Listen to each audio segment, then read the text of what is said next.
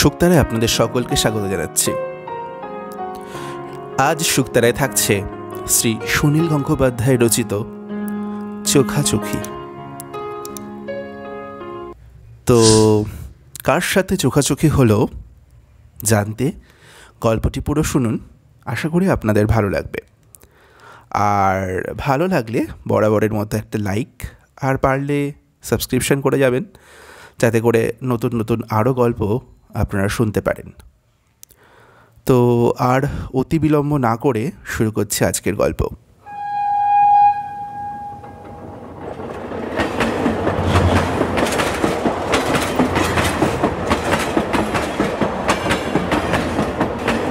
দূরপাল্লার ট্রেন যাত্রায় আমার ইচ্ছে করে পরিচয়টা বদল করতে। চব্বিশ ঘণ্টা একই কামরায় থাকলে সহযাত্রীদের সঙ্গে একটু আধটু আলাপ পরিচয় হবেই। তখন আমি অন্য মানুষ হয়ে যেতে চাই। টিকিট ছিল চেয়ার কারের।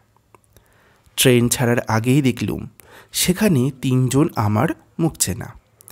এদের মধ্যে একজনের সাহিত্য ব্যতিক আছে। আমি মনে মনে প্রমাদ গুনলাম। সারা রাস্তা বক বক করে যেতে হবে এদের সঙ্গে। অথচ দুখানা না পড়া বই সঙ্গে নিয়ে এসেছি। তাছাড়া চলন্ত প্রাকৃতিক ছবি দেখার সময় আমার কথা বলতে ভালো লাগে না। পাশের কামরাটা air conditioned two chair sleeper ভাড়া অনেক বেশি, কিন্তু আমার এবারের দিল্লি যাত্রার ভাড়া কোনো এক গৌরী সেন দেবে। প্রায় শেষ মুহূর্তে যাওয়ার ঠিক হয়েছে, তাই চেয়ার কারের ছাড়া অন্য টিকিট পাওয়া যায়নি। কিন্তু ট্রেন ছাড়ার পর সব ক্লাসেই দু একটা ফাঁকা সিট থাকে। বর্ধমান স্টেশনে নেমে আমি পাশের কামরায় কন্ট্রাক্টর গার্ডকে জিজ্ঞাসা করলাম, আমাকে টু ইয়ারের একটা সিট দিতে পারবেন? এসব ক্ষেত্রে কখনো কখনো ঘুষের ব্যাপার থাকে আমি জানি। বিপন্ন ব্যক্তিরা পঞ্চাশ একশো টাকা বেশি দিয়েও সিট নিতে রাজি হয়। যেহেতু আমি যে কাজ করি, তাতে কোনো দিনও ঘুষ পাওয়ার কোনো সম্ভাবনাই নেই, সেই জন্য আমিও কাউকে কোনো ঘুষ দিই না। ঘুষ আটকাবার একটা মোক্ষম ওষুধও আমার জানা আছে। কালো কোট পরা লোকটির চোখের দিকে সরাসরি তাকিয়ে আমি আবার বললুম, আমি খবরের কাগজে কাজ করি। সঙ্গে সঙ্গে কাজ হলো। লোকটির কঠোর মুখখানা নরম হয়ে গেল। বিনীত গলায় বলল একটু অপেক্ষা করুন। আসানসোল কোটা আছে, সেখানে যদি কেউ না ওঠে, তাহলে আপনি পেয়ে যাবেন। আসানসোল পর্যন্ত আমি ঘুমের ভান করে রইলুম এবং তারপরেই সুটকেস হাতে নিয়ে চলে এলুম পাশের কামরায়। দুটি বার্থ খালি আছে একটি এর মধ্যেই বিলি করা হয়েছে এক মারোয়ারি ভদ্রলোককে। আমাকে দেয়া হলো প্যাসেঞ্জারের ধারের একটি ওপরের বাঙ্ক। তাই সই। রিজার্ভ কম্পার্টমেন্টের মাঝপথে কেউ উঠলে অন্য যাত্রীরা সন্দেহের চোখে তাকায়। বিনা টিকিটের যাত্রী মনে করে। বসবার জায়গা দিতে চায় না। আজকাল আবার যখন তখন ট্রেনে ডাকাতির উপদ্রব। সুটকেসটা একটা বাংকারের তলায় চালান করলুম। কিন্তু মুশকিল হচ্ছে এই যে দিনের বেলায় কেউ ওপরে উঠে শুয়ে থাকতে পারে না। তাছাড়া বাংলা, বিহার, উত্তরপ্রদেশের পট পরিবর্তন দেখতে আমার সব সময় ভালো লাগে। নিচের বাঙ্কের পুরনো যাত্রীরা সবাই সুজনি বিছিয়ে আধো শোয়া হয়ে আছে। আমার যেখানে জায়গা, তার নিচের বাঙ্কে পুরো দোস্তর বিছানা পাতা মিশমিশে কালো সিল্কের শাড়ি পরা। একজন পৌড়া মহিলা সেখানে পা ছড়িয়ে বসে একখানা পেপার ব্যাগ বই পড়ছেন। নিয়ম অনুযায়ী দিনের বেলায় নিচে বসার আমার ন্যায্য অধিকার আছে। কিন্তু একজন মহিলা একেবারে বিছানা টিছানা পেতে ফেলেছে, তাকে নিয়ম দেখানো ঠিক সংযত নয়। আজকাল ট্রেনে ভদ্রতা সভ্যতা উঠে গেছে। ডেলি প্যাসেঞ্জারেরা যে কোনো কম্পার্টমেন্টে যখন তখন উঠে পড়ে। গাজোয়ারি করে রিজার্ভ সিটের যাত্রীদের ঠেলে ঠুলে বসে পড়ে। প্রতিবাদ করতে সাহস পায় না, কিন্তু এসব দেখে মর্মাহত হই। ছোটবেলায় আমাদের শেখানো হতো, অন্য কারোর জন্য নিজের সিট ছেড়ে দিয়ে দাঁড়াতে হয়। আমি পাশেই এক শুয়ে থাকা ভদ্রলোককে জিজ্ঞাসা করলুম, একটু বসতে পারি? তিনি উত্তর না দিয়ে দয়া করে পাটা একটু সরালেন। চোখ বুলিয়ে দেখলুম, ওই কামরায় আমার কেউ চেনা নেই। সঙ্গে সঙ্গে স্বস্তির নিঃশ্বাস ফেলে আমি অন্য মানুষ হয়ে গেলুম। ধন্যবাদ পৌঁছবার আগেই শুয়ে থাকা লোকটি আমার সঙ্গে আলাপ জমাতে চাইলে আমি বেশ উচ্চ কণ্ঠে জানালুম যে আমি একটা ওষুধের কোম্পানির ভ্রাম্যমান বিক্রিয় প্রতিনিধি। আমার নাম অর্জুন ভারদ্বাজ। একসময় সত্যি আমি কিছুদিন একটা ওষুধ কোম্পানিতে কাজ করেছিলাম। সুতরাং ওষুধ বিপণনের ব্যাপারটা আমি কিছুটা হলেও জানি। দৈবাত কেউ যদি আমার পেশা সম্পর্কে জেরা করে, তাহলে আমি বিশ্বাসযোগ্য উত্তর দিতে পারব। ধানপাত বেরোবার পর কন্ট্রাক্টর গার্ড এলেন আমার কাছ থেকে এই কামরার অতিরিক্ত ভাড়া আদায় করতে। আমি তাকে দিলুম একশো চুরানব্বই টাকা। তিনি রীতিমতো রসিদ লিখে দিলেন। তারপর তিনি অতিরিক্ত কর্তব্যপরায়ণ হয়ে বললেন, আপনার ওই ওপরের বাঙ্ক, দিনের বেলা আপনি নিজে বসতে পারেন। ওইটা আপনার জায়গা। কালো সিল্কের শাড়ি পরা মহিলাটির দিকে তিনি আঙ্গুল তুলে বললেন, ম্যাডাম, দিনের বেলায় আপনার বিছানাটা গুটিয়ে নিতে হবে। এই জেন্টেলম্যানটি ওইখানে বসবেন। আমি সংকুচিত হয়ে বললাম ঠিক আছে ঠিক আছে, ওকে ডিস্টার্ব করা দরকার নেই, আমি এখানেই বেশ আছি। মহিলাটি বিছানাটি খানিকটা গুটিয়ে নিয়ে ইংরেজিতে বললেন ইউ ক্যান কাম যেখানে আমি বসেছিলাম, সেখানকার ভদ্রলোকটি অযাচিতভাবে বললেন, যান না, নিজের জায়গাটায় অকুপাই করে নিন। অগত্যা আমাকে উঠে গিয়ে ভদ্রমহিলার পায়ের কাছে বসতে হলো। তিনি বইখানে সরিয়ে আমাকে লক্ষ্য করলেন। আমিও ওর আপাদমস্তক পর্যবেক্ষণ করলুম। দিনের বেলায় এরকম কালো সিল্কের শাড়ি কেমন যেন বেবানান, কেমন যেন বোরখার মতন মনে হয়েছিল। উত্তরপ্রদেশের অনেক খানদানি মুসলমান পরিবারের মেয়েদের আমি কালো সিল্কের বোরখা পরতে দেখেছি। ভদ্রমহিলার গায়ের রং টুকটুকে ভরসা চোখে সোনালি ফ্রেমের চশমা। এককালে নিশ্চয়ই বেশ রূপসী ছিলেন। এখন যৌবন ঢলে পড়েছে। তবে তিনি সহজে বার্ধক্য মেনে নিতে রাজি নন। মুখের চামড়ার, মুখের চামড়ায় মসৃণতা চলে গেলেও চোখে সুরমা, ভরুতে কাজল মাথার চুল নিশ্চয়ই কালো রং করা। এই বয়সের কোনো কোনো রমণী একটা বিষণ্ন সৌন্দর্য আছে, গোধূলির আলোর মতো, খাঁচায় আটকানো হরিণীর চোখের মতো। ভদ্রমহিলা মুসলমান বলেই মনে হয়। কিন্তু কিন্তু এই বয়সের মুসলমান রমণীরা কি একা একা ভ্রমণ করেন? ওর উপস্থিতির মধ্যে একটা বেশ আভিজাত্য আছে। আমি ওর সঙ্গে নিজে থেকে কথা বলার কথা ভাবতেই পারিনি কখনো। বই খুলতে যাচ্ছিলুম, উনি প্রথম জিজ্ঞাসা করলেন, আপনি কোথায় যাবেন? আমি সংক্ষেপে বললুম, দিল্লি। উনি আবার জিজ্ঞাসা করলেন, তাহলে আপনার কাছ থেকে এত কম টাকা নিল কেন? দিল্লির ভাড়া তো অনেক বেশি। আমি দু এক মুহূর্ত চুপ করে রইলুম। মহিলাটি ভেবেছেন, আমি বিনা টিকিটে এই কামরায় উঠে পড়ে কিছু টাকা দিয়ে ম্যানেজ করে নিয়েছি। ওর এই ধারণাটা ভাঙল ওর এই ধারণাটা ভাঙলে কি হয়? আমার যে চেয়ার কারের টিকিট ছিল, সেটা চেপে গিয়ে হেসে বলল প্রায় তো এই লাইনে যাতায়াত করি, ওরা চেনে, সস্তা করে দেয় আর কি। মহিলা আমার কথা শুনে খুশি হলেন না। উনি পুরো ভাড়া দিয়েছেন, অথচ একজন হাফ ভাড়া দেওয়া লোকের জন্য তাকে জায়গা ছেড়ে দিতে হলো। এখন আমি সত্যিই অর্জুন ভারদ্বাজ হয়ে গিয়েছি। ভাবছি দেখাই যাক না কি হয়। মহিলাটি কিছুক্ষণ বইতে মন দিলেন।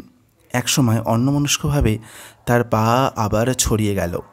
সেই পা আমার গায়ে এসে লাগল। কোনো পুরুষ মানুষের পা হলে আমি নিশ্চয়ই আপত্তি জানাতাম। ফর্সা রমণীর পা, হোক না যৌবনোত্তীর্ণ, তাতে আপত্তির কোনো কারণ নেই। একসময় তার খেয়াল হলো, তাড়াতাড়ি পা সরিয়ে নিয়ে বললেন, আমি দুঃখিত, ক্ষমা চাইছি।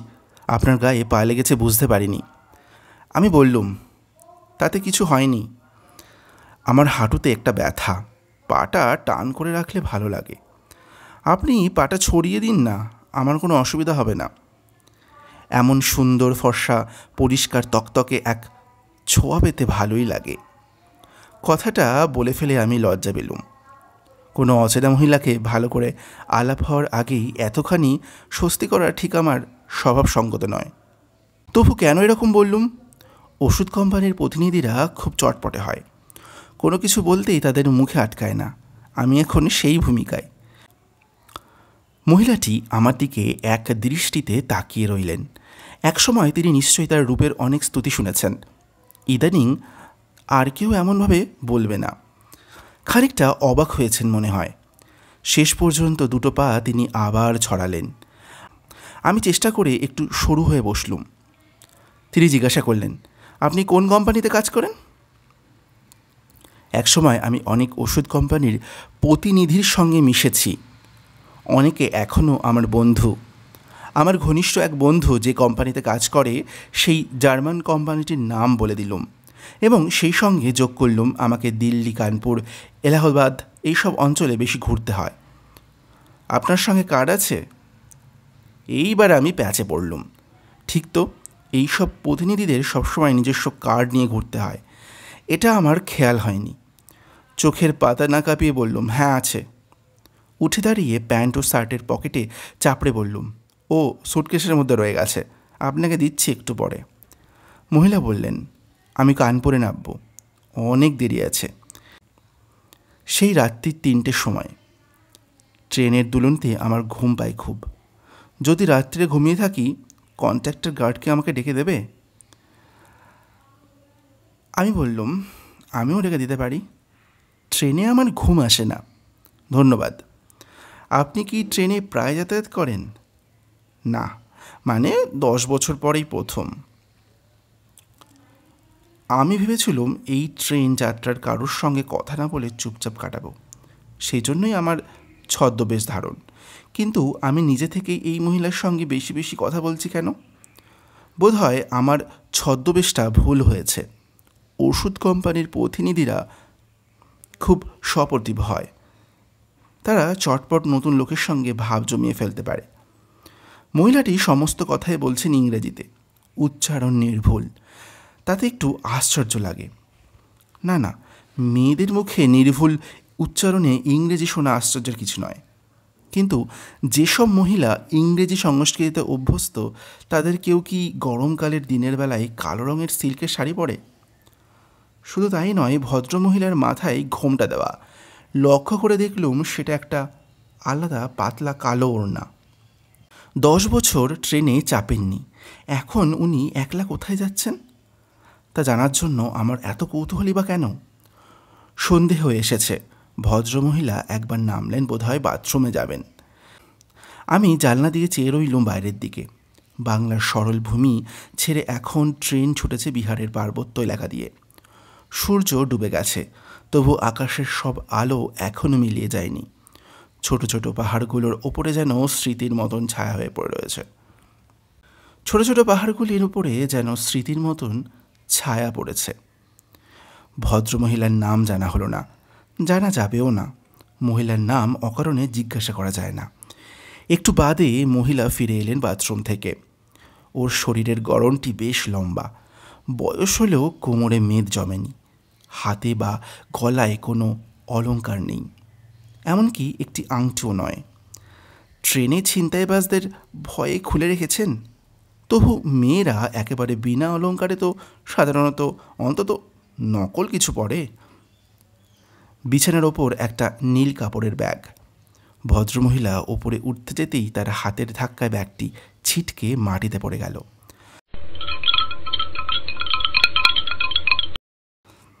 আমি ব্যাগটা তুলে নিলাম মাটি থেকে। তাতে শব্দ হলো আবার। মনে হলো ঘুঙুরের শব্দ। হ্যাঁ কোনো সন্দেহ নেই। ভদ্রমহিলা যেন খানিকটা ব্যস্ত হয়ে কাপড়ের ব্যাগটা নিয়ে নিলেন আমার হাত থেকে। পিঠের কাছে রেখে জানলা দিয়ে তাকালেন বাইরে। অর্থাৎ এখন আমার সঙ্গে কথা বলতে চান না। এক পৌড়া মহিলা সঙ্গে ঘুঙুর নিয়ে চলেছেন কেন? নর্তকী নাকি? এই বয়সে নাচকে মানায়। তাছাড়া উনি বললেন, ওর হাঁটুতে ব্যথা। হয়তো কারোর জন্য ঘুঙুর উপহার নিয়ে যাচ্ছেন? ভদ্রমহিলা পা মুড়ে আমার দিকে পেছন দিয়ে বসলেন। চকিতে তাকালেন এক দুবার। কিছু কি বলতে চান? উনি কি চান আমি কিছুক্ষণের জন্য উঠে যাই? প্রসাধন প্রসাধন করবেন? এয়ার কন্ডিশন কামরায় সিগারেট খাওয়ার জন্য এমনি মাঝে মাঝে বাইরে যেতে হয়। বেশ অনেকক্ষণ সিগারেট টানা হয়নি। আমি উঠে এলাম।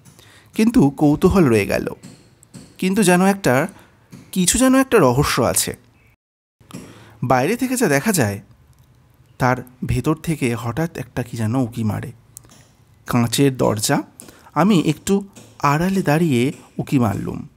ভদ্রমহিলা হাঁটু গেড়ে বসেছেন, হাতে একটা ছোট্ট বই। যতদূর মনে হচ্ছে উর্দুতে লেখা। প্রথম দেখে আমার যা ধারণা হয়েছিল, দেখা যাচ্ছে সেটাই ঠিক। মহিলা মগরেবের নামাজ পড়ছেন। উনি শুধু মুসলমান নন, রীতিমতন ধর্মপ্রণা। ট্রেনের মধ্যেও নামাজ পড়া বাদ দিতে চান না। অথচ উনি শুধু ইংরেজিতে কথা বলেন। এর সঙ্গে একটা থলির মধ্যে ঘুঙুর। কোনোটার সঙ্গে কোনোটার মিল মেলে না। নামাজ শেষ করতে কতক্ষণ সময় লাগে আমার ঠিক ধারণা নেই। পরপর দুটি সিগারেট শেষ করলুম। তারপরেও কিছুক্ষণ দাঁড়িয়ে রইলুম বাইরের দরজায় ঠেস দিয়ে। আমি এখন অর্জুন ভারদ্বাজ। তবু আমার বুকের মধ্যে এত কৌতূহল ছটপট করছে কেন? অর্জুন ভারদ্বাজের কি এরকম হয়? ফিরে এসে দেখলুম প্রার্থনা শেষ হয়ে গেছে। মহিলাটি এখন একটা কৌটা খুলে কিছু খাচ্ছেন। আমার মনে হয়, আমার আমার মনে পড়ল উনি সারাদিন কিছুই খাননি। আমরা লাঞ্চ খেয়েছি বিকেলের চা খেয়েছি। উনি বেয়ারাদের ফিরিয়ে দিয়েছেন। এখন কি রোজার মাস চলছে নাকি? আমার সঙ্গে চোখাচোখি হতেই ভদ্রমহিলা চোখ ফিরিয়ে নিচ্ছেন। কিছুক্ষণ আগে পর্যন্ত উনি আমার সঙ্গে বেশ গল্প করছিলেন। ওই ঘুঙুরের থলিটা আমি দেখে ফেলার পরই কেমন যেন বদলে গেলেন। উনি ভাবছেন, আমি কি ওর ব্যাপারে কিছু সন্দেহ করছি? না, সন্দেহ তো নয়। তবে একটা খটকা লেগেছে ঠিকই। খানিক বাদে পৌঁছে গেলুম গয়া স্টেশনে। শরীরের আড় ভাঙার জন্য নেমে প্ল্যাটফর্মে পাইচারি করতে লাগলুম খানিকটা। হিন্দিতে কি যেন একটা ঘোষণা হচ্ছে। কান পেতে শুনলুম একবার। অদ্ভুত ঘোষণা। বারবারই একই কথা বলছে। ঘোষণাটি হচ্ছে এই যে, যাত্রী সাধারণকে সাবধান করে দেওয়া হচ্ছে, কোনো অচেনা সহযাত্রী যদি বিড়ি, সিগারেট, খৈনি পান বা প্রসাধনের নাম করে খাবার আপনাকে দেয়, তাহলে তা খাবেন না। কারণ কোনো অপরাধকর্মী এই সব খাবারের মধ্যে বিষ মিশিয়ে দিতে পারে। আপনি ঘুমিয়ে পড়লে বা অজ্ঞান হয়ে পড়লে আপনার মালপত্র নিয়ে পালাবে। এই সব অপরাধ কর্মীদের থেকে সাবধান। গয়া স্টেশনে বুঝি খুব ঠক আর ফেরেবাজ বেড়েছে। এতবার এই কথা বলে যাচ্ছে কেন? এই ঘোষণা থেকে আমি একটা শব্দ শিখলুম, অপরাধ কর্মী। এই হিন্দি শব্দটা বাংলাতেও অনায়াসে ব্যবহার করা যায়। ভদ্রমহিলাও উঠে এসে কামরার দরজার কাছে দাঁড়িয়েছেন। একবার মুখ বাড়িয়ে বললেন, পান, এই পান। এই প্রথম আমি তার মুখ থেকে একটা অ ইংরাজি শব্দ শুনলাম। কাছাকাছি কোনো পান বিড়িওয়ালা নেই। মহিলা, আমাকে কি অনুরোধ করবেন পান খোঁজার জন্য? কিন্তু একবারেও আমার দিকে চোখ পড়তেই মুখ ফিরিয়ে চলে গেলেন ভেতরে। তবু আমি কাছাকাছি খুঁজছি, পান পাওয়া গেল না। ট্রেন ছেড়ে দিয়েছে, আমাকে দৌড়ে এসে উঠতে হলো। এই সব ট্রেনের সব কামরার ভেতর দিয়ে যাতায়াত করা যায়। আমাদের এই কামরার পাশেই ডাইনিং কার, সেজন্য মাঝে মাঝেই কিছু লোক এখান দিয়ে যাচ্ছে। আমি আমার সিটে সবে এসে বসেছি। হঠাৎ একটি যুবক আমাকে দেখে চেঁচিয়ে বলে উঠল, আরে সুনীল দা আপনি কোথায় যাচ্ছেন? আমি আটকে উঠলুম। ছেলেটির মুখ বেশ চেনা চেনা যদিও নামটা মনে নেই। আর তো ছদ্মনাম রাখা যাবে না। অতি উৎসাহে ছেলেটি নানা রকম বকবক করতে লাগল। তাও শুধু বাংলা কথা বললে নিষ্কৃত ছিল। তার সঙ্গে তার এক বন্ধু, তার সঙ্গে সে ইংরেজিতে পরিচয় করে দিল আমার। কিউবিকালের কয়েকজন লোক চোখ সরু করে তাকালো আমার দিকে। এরা জেনে গেছে, আমার নাম অন্য, পেশা অন্য। ছেলেটিকে বিদায় দেওয়ার পর আমি গল্পের বইতে মুখ আড়াল করে রইলুম। আমি নিজেই একটা খেলা খেলছিলাম, তাতে কারোর তো কোনো ক্ষতি হয়নি। মুশকিল হচ্ছে, কালো শাড়ি পরা মহিলাটির মুখোমুখি বসতে হয়েছে আমাকে। মুখ তুললেই চোখাচোখি হয়ে যায়, সঙ্গে সঙ্গে তিনি মুখটা সামান্য একটু সরিয়ে নেন। এখন তার ঠোঁটে যেন একটা পাতলা হাসি, যেন তিনি একটা প্রতিশোধের সুযোগ পেয়েছেন। তার ঘুমোরের থলিটা দেখে ফেলে আমি তার একটা গোপন ব্যাপার জেনে ফেলেছি। এবারে তিনিও আমারটা জেনেছেন। যাক, কাটাকুটি হয়ে গেছে। তবু উনি আমার সঙ্গে কথা বলছেন না কেন? আমি ছেঁড়া আলাপ আবার জমাবার জন্য বললুম, বাইরের আকাশটা লাল, বৃষ্টি আসবে মনে হচ্ছে। ভদ্রমহিলা কোনো উত্তর দিলেন না। আমি তার পায়ের দিকে তাকালুম। এই পায়ে কি ঘুঙুর বাঁধা হয়? কিন্তু এর পেশা যদি নাচ হয় তাহলে তিনি দশ বছর ট্রেনে চাপেননি? এটা কি বিশ্বাসযোগ্য? যে নিয়মিত নামাজ পড়ে, তার পক্ষে নাচ গান কি হারাম নয়? কিন্তু কিছুই যেন মেলাতে পারছি না। পরের স্টেশনে আবার আমি। নামলুম সিগারেট খাওয়ার জন্য। সামনে দিয়েই একজন পানওয়ালা যাচ্ছে। আমার মনে পড়ে গেল ভদ্রমহিলা পান খুঁজছিলেন। উনি কি পান খান? সাদা না জর্দা দেওয়া? সেটা তো জানি না। জিজ্ঞেস করে আসারও সময় নেই। আমি দু রকমের পানি নিলুম। যাদের পানের নেশা, তারা নিশ্চয়ই পান পেলে খুশি হয়। আমি কামরায় ঢুকে হাসি মুখে বললুম, আপনার জন্য পান এনেছি। মহিলার মুখ অন্যদিকে ফেরানো। আমি আরও কাছে এসে বললুম, আপনার জন্য পান এনেছি, আপনি খুঁজছিলেন? ভদ্রমহিলা এবার মুখ ফিরিয়ে একটা বিস্ময়ের দৃষ্টি দিলেন। তারপর বললেন, আমি তো এখন পান চাই না। আমি আন্তরিক অনুনয়ের সুরে বললুম, আপনি আগে স্টেশনে খুঁজছিলেন? আমি দুরকম পান উনি আবার বললেন, আমার পান দরকার নেই। তারপর সেই ঘুঙুরের থলিটা তুলে শক্ত করে বুকে চেপে রইলেন। ধন্যবাদ।